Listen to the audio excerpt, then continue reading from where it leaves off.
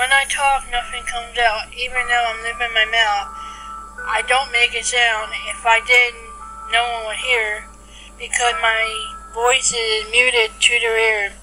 I try to turn up my volume up, and I scream, but nothing comes out. Like in mine, I don't make a sound, even though I'm in the room. In the room, I feel alone, like no one's around, and I they turn around my volume down. The telly drowns me out and blocks the sound from my mouth.